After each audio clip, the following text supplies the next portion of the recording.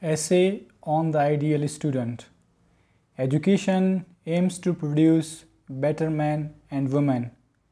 This can be achieved only if the student put their heart and soul into their work.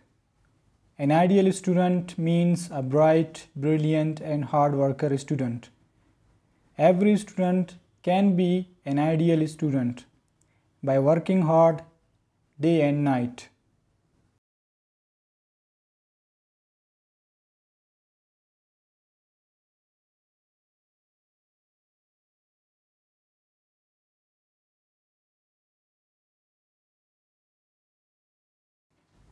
Every student has unique quality gifted by God. Through hard work, a student could identify his unique quality, which will make him an ideal student. A student is a person who devotes himself to the pursuit of knowledge and learning.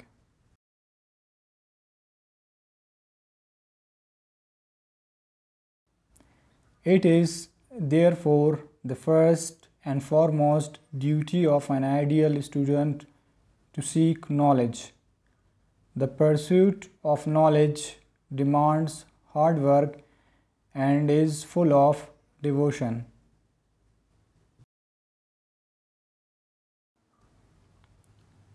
As learning is a passion for him, it brings him pleasure and happiness and makes a new man of him.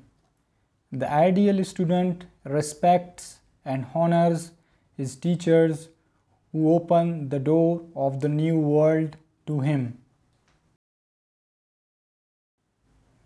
If the students get more knowledge, he or she will be the ideal student in the future.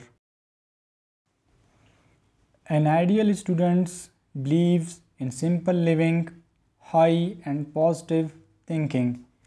He hates cheap and showing things, but loves cleanliness and beauty. He is kind and generous. He does not discourage others by words or deeds. In short, the ideal student seeks knowledge and passionately respects his teachers.